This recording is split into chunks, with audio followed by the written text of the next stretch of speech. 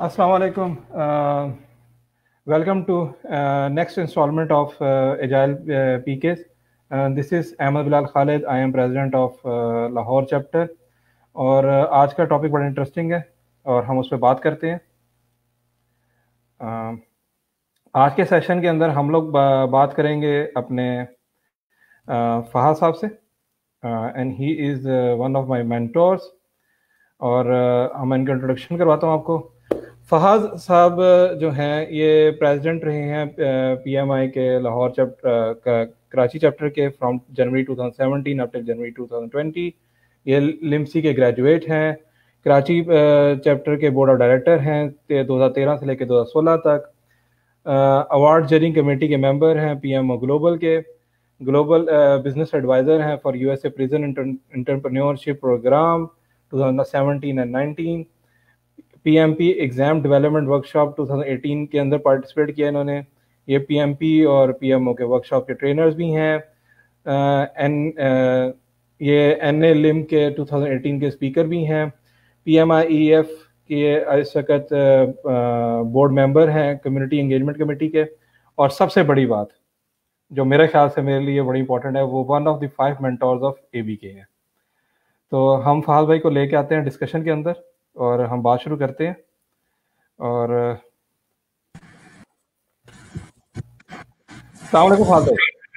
वालेकुम अस्सलाम कैसे हैं आप? कैसे हैं?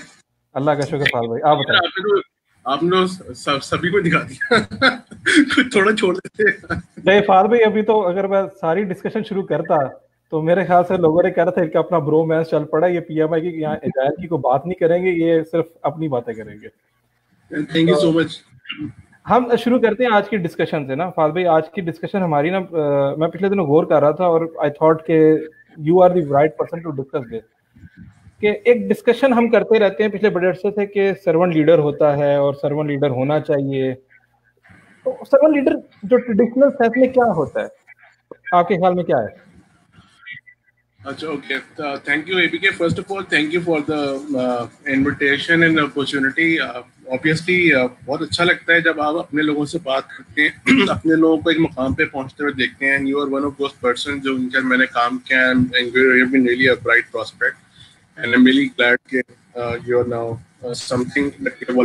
ऑफ़ अच्छा पहली बात तो ये है कि यार सर्वेंट लीडरशिप का जो कॉन्सेप्ट है ना it's not new it it has been coined in 1980s बहुत पुराना रॉबर्ट ग्रीनी ने इसको उसको निकाला था। लेकिन जिस तरह आपने सुना होगा ना कि बहुत सारे I am sorry but just ignore my friends के बहुत सारे मंजन होते हैं, वो नए पैकिंग में आ जाते हैं और फिर उनको दोबारा रीपैक करके बेच देते हैं तो वो हिट हो जाते हैं। तरह this this this leadership concept has been there for almost now 40 years और सो बट नाउ लेकिन इसकी इफेक्टिवनेस अब सामने नज़र आने शुरू हुई है जब कमांड एंड कंट्रोल और फ्राइट फियरफुल लीडरशिप की जो, ये टेक्निक्स होती हैं या स्टाइल्स होती हैं ना, वो फेल हो गए अच्छा आपका सवाल ये था कि what is servant leadership servant leadership is where you empower people where you help them grow. And ये तो नॉर्मल बात है but the most important thing you you you become this this servant उनकी सर्विस करते हैं। तो जो आपका लीडरशिप स्पेक्ट्रम होता है जो ऊपर से लेकर टिकल डाउन करता है नीचे ये उलट हो जाता है। अब एम्प्लॉय हर चीज़ का रिस्पॉन्सिबल है और जो लीडर है ना वो सर्विस दे रहा है कि मैं क्या कर सकता हूँ आपके लिए आप मुझे बताएँ। Which is a very different concept in our अगर आप अपनी सराउंडिंग uh, में देखें तो all the commercial organisation and all the corporate organisation totally work differently right there is lot of there is lot more bureaucratic layers bureaucracy बहुत ज़्यादा होती है एंड अथॉरिटी ड्रिवन चीज़ें ज़्यादा चलती हैं एंड अगर आप ये कॉन्सेप्ट लेके आ जाएँ तो वो समझते हैं कि you are being soft and nobody likes a soft leader. But in, why this this leadership concept is gaining so much attention and uh, traction and so much appreciation because it is everlasting, long lasting. Yeah, agar it, it also ensures that कि for example Ahmad Bilal ने फहद अहमद के लिए या x Y जी के लिए कुछ ऐसा किया जिससे वो अपने करियर में अपनी लाइफ में आगे बढ़ गया और उसने कुछ हासिल किया और उसको लगा कि उसने कोई वैल्यू क्रिएट की तो फाद अहमद कभी नहीं भूलेगा right? And Ahmed Bilal also ensures that he created one more servant leader because his subordinate will not function as servant leader. The servant leadership is is one leadership theory where uh, the leader becomes a servant of all the employees and all the people around them and ensures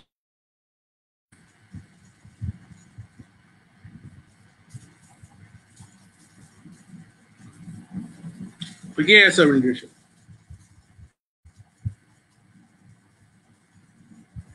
आपका mic mute है mute है. Sorry तो अच्छा. फाल भी मैं अभी जो बात कर रहा था वो ये था कि लीडरशिप और सर्वेंट लीडरशिप की बात ना हम बड़े से सुनते आ रहे हैं और स्पेशली एटीज से लेके इवन एटी से आ रहे हैं हम हम लोगों की पैदाइश से पहले की बातें ये। पीपल इसको प्रॉपरली समझ नहीं पाते या इसको लेके नहीं चल पाते सम हाउ और मेरे जैसे लोग तो इसमें बिल्कुल यानी कि ना निकम्मे हैं। एक चीज़ जो कि ना बड़ी इंपॉर्टेंट है फाज भाई वो ये है कि पिछले दिनों हम डिस्कस कर रहे थे, मैं और आप इसी तरह गपशप में बैठे हुए थे, और हम डिस्कस कर रहे थे कि यार इमोशनल इंटेलिजेंस भी कोई चीज़ होती है।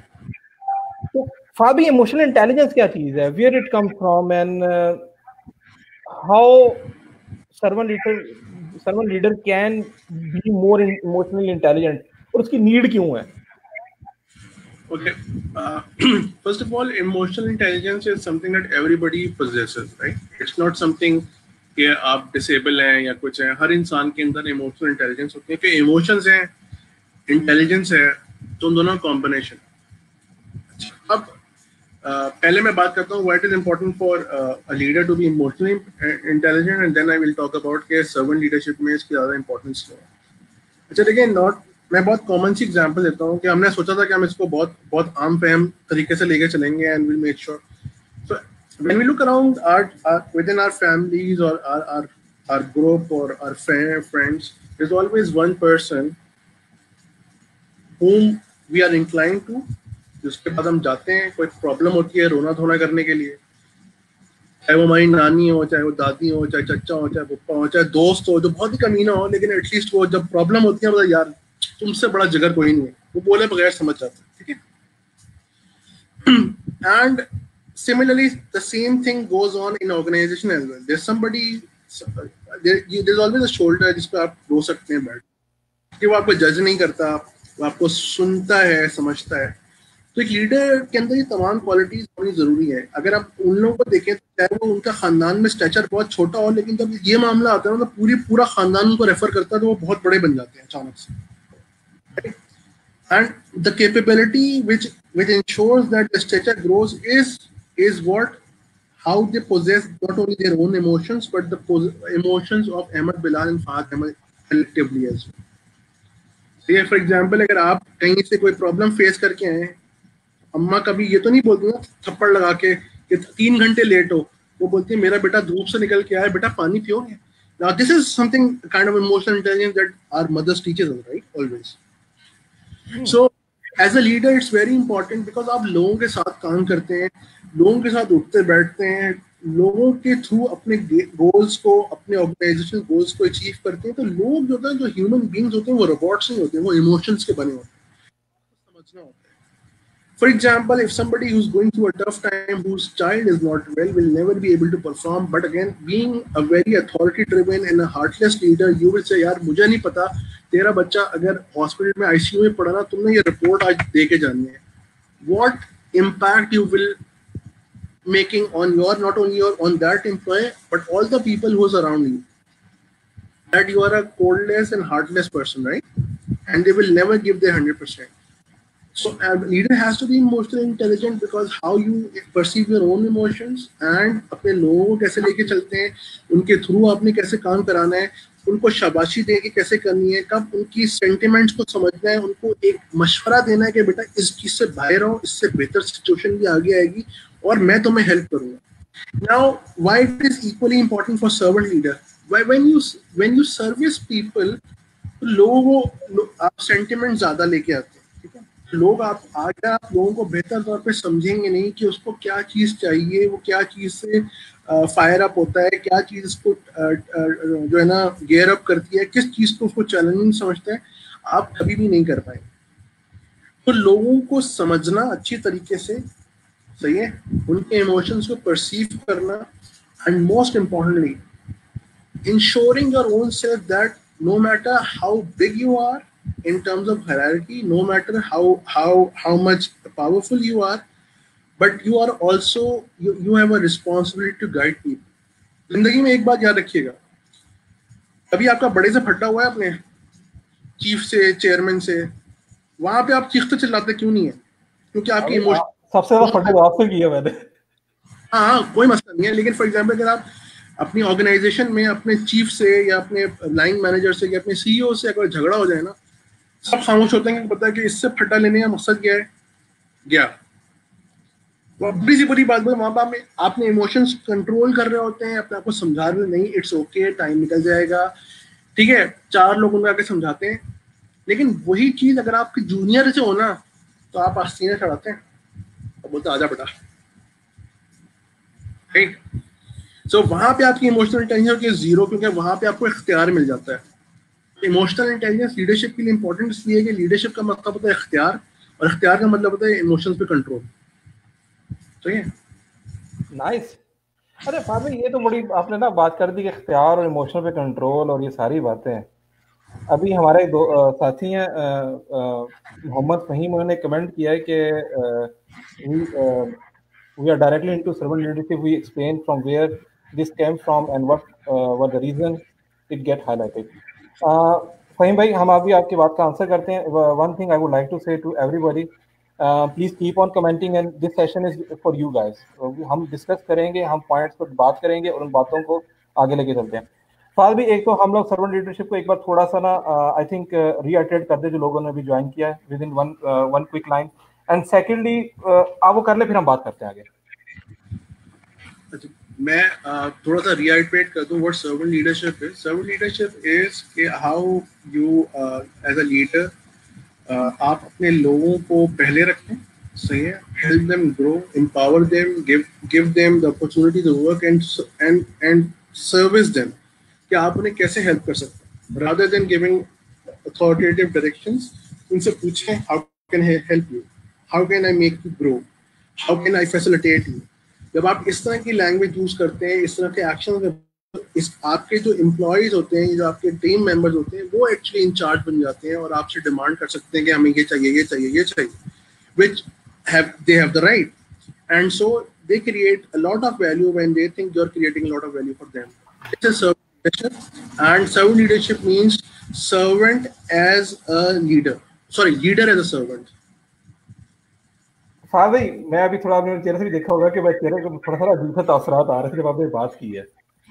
मैं खुद भी मैनेजर पोजीशन पे आप भी मैनेजर पोजीशन पे और मेरा ख्याल है कि हमारी ऑडियंस में कई लोग हैं जो मैनेजर पोजीशन पे या ज़िंदगी के अंदर कोई ना कोई बंदा उनके साथ एक रिपोर्ट कर रहा होता है। बट एक बात जो मुझे ये ना, ये अजीब सी लगती है और ये बड़ी हंसा देती है जब भी हम बात करते हैं, ये कि, ये बातें ना बड़ी किताबी लगती हैं।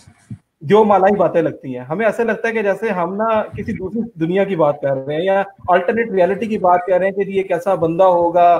जो आप सुबह दफ्तर में आएँगे मैन, मैनेजर साहब आपको वेलकम करेंगे आपको बड़ा प्यार से बिठाएँगे आपसे पूछेंगे अगर में खैरियत है काम शाम सही हो रहा है? काम करने लगेंगे पूछे हाँ जी आपका दिल कर रहा है काम करने को? और शाम को जाते पूछे हाँ भी कैसा रहा आपका दिल ये नज़र नहीं आता हमें मार्केट में। और ये अगेन मैं पाकिस्तान की बात नहीं कर रहा क्योंकि लोग जंप कर देंगे कि पाकिस्तान में ऐसा होता है। This I I have seen this across the world मैंने जहाँ पे भी लोगों के साथ इंगेज किया आई थिंक आपका भी ऐसा एक्सपीरियंस है और हमारे ऑडियंस का भी ऐसा एक्सपीरियंस होगा कि हम जब भी लोगों से बात करते हैं तो ये चीज़ ना बड़ी जो मालाई लगती है। कहने में और करने में बड़ा फ़र्क नज़र आता है। ऐसा क्यों है? देव मालाई भी लगती है और बहुत मुश्किल भी है। उसकी रीजन क्या है?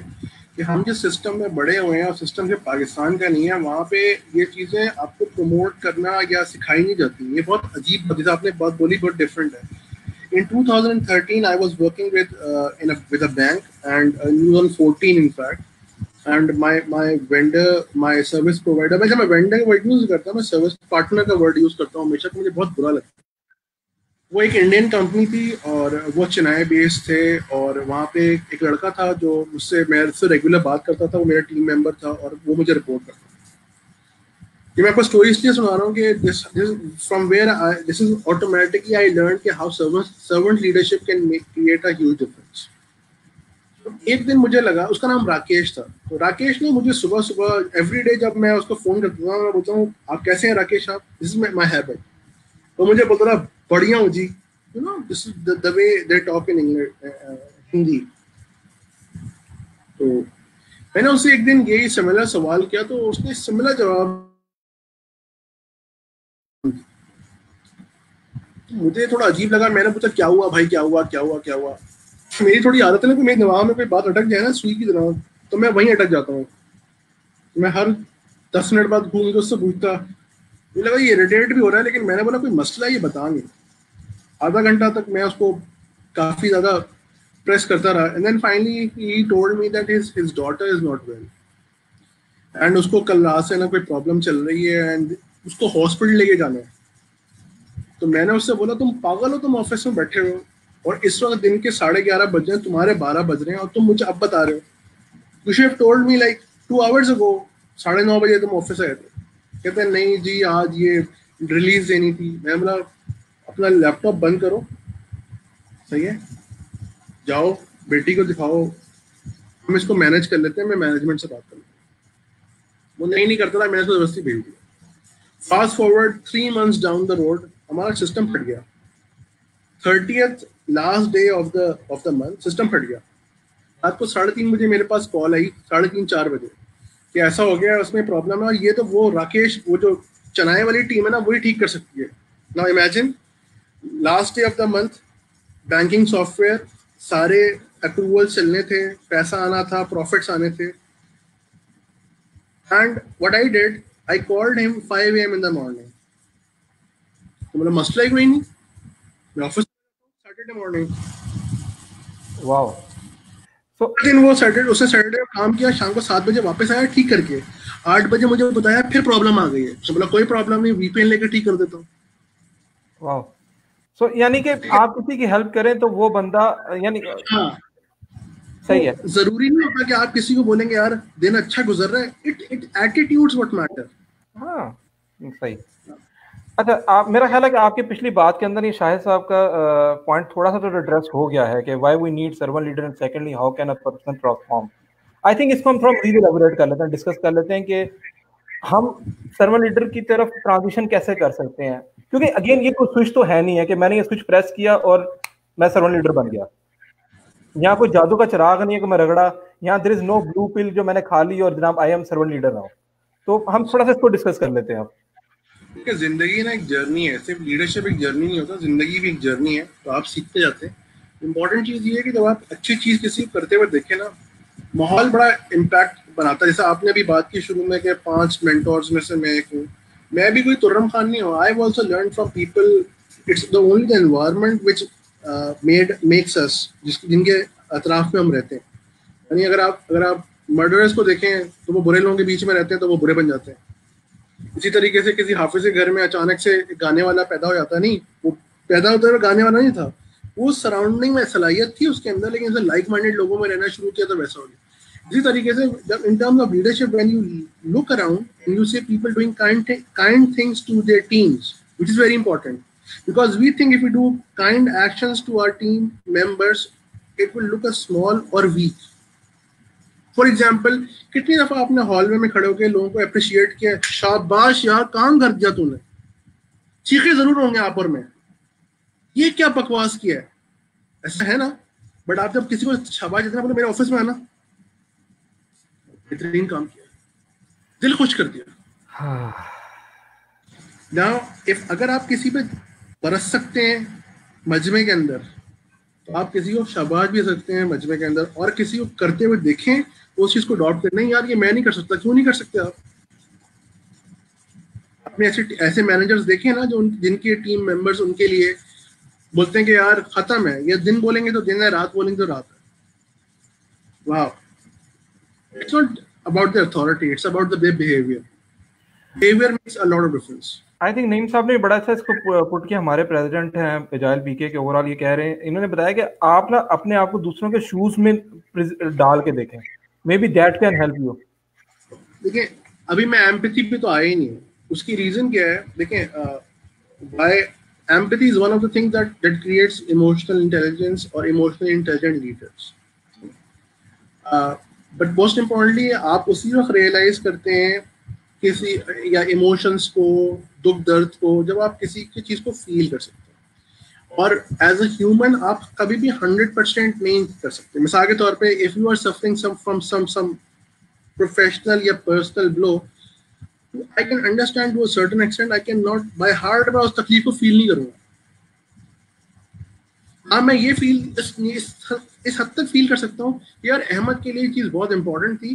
फॉर एग्ज़ाम्पल अगर किसी लेट सपोज़ किसी का कोई अज़ीज़ दुनिया से चला जाता है और वो उसके लिए कोई, उसके लिए गार्जियन होता है या कुछ भी होता है, अब वो जो जिस जिस तकलीफ़ से गुजरेगा ना मैनेजर में एक हद तक उसको रेप्लीकेट कर सकता है मेंटली हाँ लेकिन उसको ये पता है कि इस शख्स की बहुत ज़्यादा वैल्यू थी किसी और शख्स की ज़िंदगी में। So empathy is like you can feel the pain of other people by putting their, yourself in their shoes, but to a certain extent, you cannot always be the other person, right? It is about the, the कम से कम distance होगा that makes more intelligent, uh, emotional intelligent leaders. Empathy होता है भाई इसी में ना एक point मेरे दिन में भी आ रहा था कि ओवर लास्ट फ्यू इयर्स हम एक बात करते हैं generation next generation Y millennials की और अब आ रही है जनरेशन जी जिसको हम स्नोफ्लेक जनरेशन भी कहते हैं। मैंने इन लोगों से कुछ सीखा है। इन लोगों से ये सीखा है कि these guys are very very much politically correct एक टर्म यूज़ होती है पॉलिटिकली करेक्ट करेक्ट होने की। यानी कि ये लोग बात करते हैं कि दूसरों के हकूक की बात करते हैं। जैसे आजकल ब्लैक लाइफ मैटर की बात होती है, या उससे कुछ ऐसा पहले मी टू मूवमेंट की थी। तो क्या सर्वेंट लीडर भी क्या इस स्नोफ्लेक जनरेशन की कैपेबिलिटी को ऑन करता है? क्या वो भी दूसरों की बात को अपने लिए ज़्यादा इंपॉर्टेंट समझता है? देखिए, ये फितरी बात होती है कि जो जनरेशन जिस टर्मिनोलॉजीज के दरमियान पली पड़ी होगी ना, वो ज़्यादा उस चीज़ को रियलिस्टिकली अप्लाई कर रही होगी। इसकी एग्जांपल बिल्कुल वैसे ही है।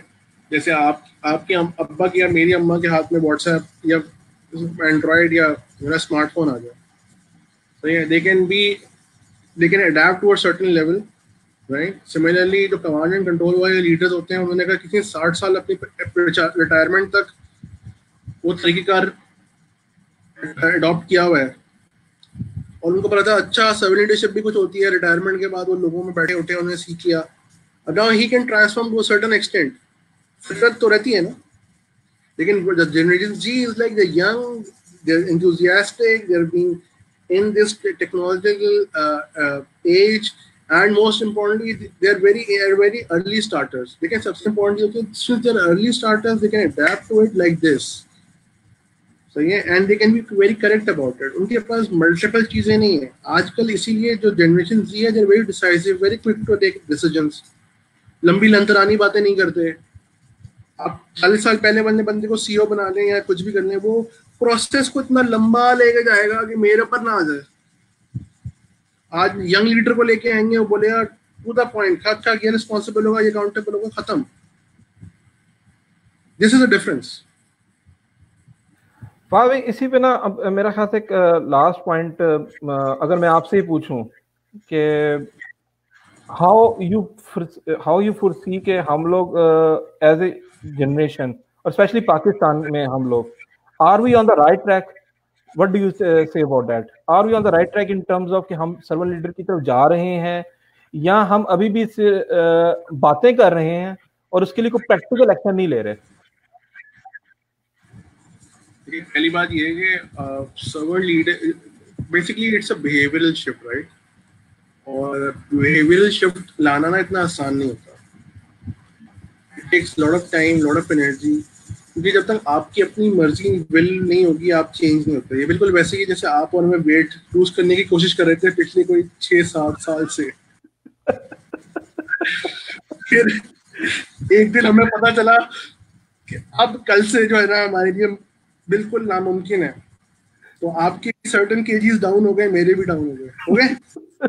बिल्कुल।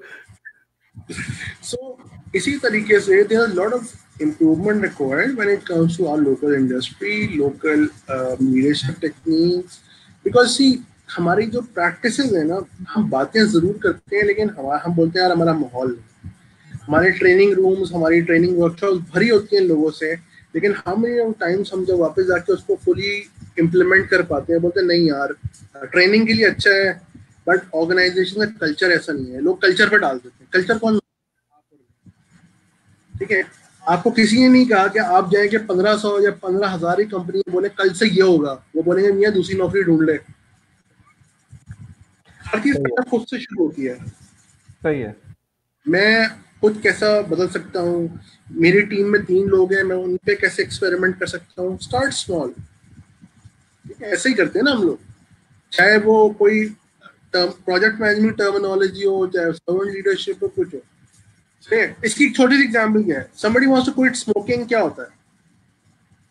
वो एक पैकेट पैकेट पे आता है आधे पैकेट से दस सिगरेट्स पे आता है दस से पाँच पे आता है पाँच से तीन पे आता है तीन से दो पे आता है कुछ ऐसे भी होते हैं कसम खाते हैं कल से नहीं खाऊँगा नहीं पीऊँगा। खत्म चेन स्मोकर होते हैं बहुत कम होते हैं। लेकिन सॉरी आपको काट रहा हूँ। जैसे पॉइंट है कि आपने जैसे स्मोकिंग को कुट करने की बात की ना मेरी ऑडियंस गिर गई है। अच्छा please continue this is just I think they they they they all went for a smoke I guess या अच्छा फाद भाई चले अब इसको ना हम क्लोजिंग की तरफ़ लेके आते हैं सबसे पहले तो मुझे बात बताएँ कि आपने हम मुझसे एक वादा किया था कि आज आप मेरी ऑडियंस के लिए कोई तोहफा वगैरह देंगे पहले क्योंकि मैं जितने भी स्पीकर रहता हूँ उनसे कहता कोई तोहफा देके जाए ऑडियंस के लिए बातों के अलावा तो क्या तोहफा आपने सोचा है यार तोहफा तो मैंने ये सोचा तोहफे तो बहुत कुछ है मुझे ही लेने तोहफे में तो अगर चाहते हैं तो मैं आज तो सारे बैठा हुआ यहाँ पे। हाँ। लेकिन हाँ। I have one book I have one book I don't know लोगों के पास है हाँ नज़र आ रही है। जेफ सदरलैंड की the art of doing twice the work half the time ठीक है। सो कोई जब से अच्छा जो सवाल पूछेगा ना मुझसे ये किताब देंगे तोहफे। में नाइस चले ये और ये सवाल जो है इट कैन का हम लोग क्या कहते हैं इसके अंदर जो सवाल हो चुके हैं, उनकी बात कर रहे हैं या जो सवाल अभी बाद में लोग बाद में भेजेंगे, उनकी बात कर रहे हैं? हम ओवरऑल बात कर लेते हैं, ताकि हम देख लें, ताकि जो लोग भेजेंगे। अच्छा इससे पहले मैं एक बात ही कर दूँ कि PMI Karachi chapter is also conducting two days workshop on servant leadership since this is not promotional session क्योंकि अभी मुझे अचानक से याद आ गया so anybody who enroll in it तो वो पी एम आई कराची के फेसबुक पेज पे वेबसाइट पे जाके चेक कर सकता है। सारी डिटेल्स वहाँ पे मौजूद है। और uh, यू नो uh, और मेरी ऑडियंस के लिए स्पेशल डिस्काउंट uh, भी है उसमें। अगर आप A B K discount code use करें A B K twenty twenty तो आपको डिस्काउंट मिल जाएगा। चले परफेक्ट हो गया। फाद भाई thank you very much for coming today guys let me send you share you some more information सबसे पहले तो यह है कि हम लोग मैं आपको बताता हूँ कि आगे जैल पी के लाहौर चैप्टर का आ, क्या प्लान्स है। हम लोग कंटिन्यू करेंगे मंथली सेमिनार्स के साथ। आई नो कि you guys may have webinar fatigue तो बहुत ज़्यादा सेशंस आ रहे होंगे। तो Lahore chapter will be bringing monthly seminar every Sunday every second Sunday of every month और हमारे नेक्स्ट गेस्ट भी फहाद भाई की तरह एक सर्वेंट लीडर्स हैं। Or I will be sharing, uh, we will be sharing the, his name uh, very shortly. Another thing that जो हमने प्लान किया है वो है online P M I A C P की एग्ज़ाम प्रिपरेशन वर्कशॉप हो रही है अजाइल पी के लाहौर चैप्टर के थ्रू जो जुलाई फोर फिफ्थ इलेवंथ ट्वेल्थ को होगी इसके ऊपर भी डिटेल्स जो हैं आप लोग uh, हमारे agile P K official page Facebook page पे ट्यून रहे हैं वहाँ पे आपको मिलेंगी। तीसरी चीज़ जो कि हमारे डे बिफोर यस्टरडे के सेशन में बात हो रही थी, जहाँ पे हम बात कर रहे थे कि अजाइल पीके के ऊपर फ्यूचर ऑफ़ अजाइल के ऊपर, वहाँ पे हमने डिस्कस किया है लाहौर चैप्टर के थ्रू आप अपनी एजिलिटी सक्सेस स्टोरीज शेयर करें। लेट्स इंगेज पीपल और हम लोग इसके ऊपर मजीद यानी के काम करते हैं और जो अच्छी चीज़ें हम लोग कर चुके हैं, उनको प्रेजेंट करते हैं। Last but not the least and I think one of the most important thing oh और एक uh, इसमें स्पेल uh, मिस्टेक भी आ गई उसके लिए मैं माजरा चाहता हूँ। Agile Karachi will be hosting agile conference Pakistan this time around in twenty twenty और ये फिफ्थ दिसंबर टू थाउज़ेंड ट्वेंटी को होगी। So let me go back to our page so thank you very much for everyone for joining in. Uh, बहुत शुक्रिया आपका। अल्लाह ताला आपको खुश रखे। आ, सारे दोस्तों का आ, शुक्रिया ज्वाइन करने का। थैंक यू वेरी मच खुश रहें अपना ख्याल रखें और अपने साथियों का ख्याल रखें और let's share the good with each other Allah Hafiz. Thank you